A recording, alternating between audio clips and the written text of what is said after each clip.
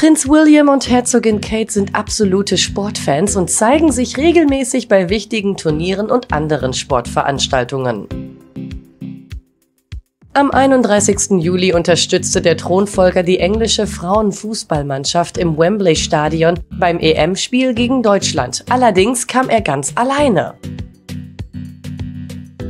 Mit Tochter Charlotte hat Prinz William noch vor dem Finalspiel eine Videobotschaft auf ihrem offiziellen Instagram-Account veröffentlicht, um das englische Team anzufeuern. Der Prinz lobte darin den Einsatz der Mannschaft, während Charlotte neben ihm saß. Viel Glück, ich hoffe, ihr gewinnt. Tschüss, schloss der Mini-Royal das süße Video ab. Ins Stadion selbst kam William allerdings allein. Wo war vor allem Herzogin Kate? Ihre Abwesenheit dürfte sicher viele Royal-Fans enttäuscht haben. Doch auch die Herzogin von Cambridge war in sportlicher Mission unterwegs und hatte daher einen guten Grund, dem EM-Finale fernzubleiben.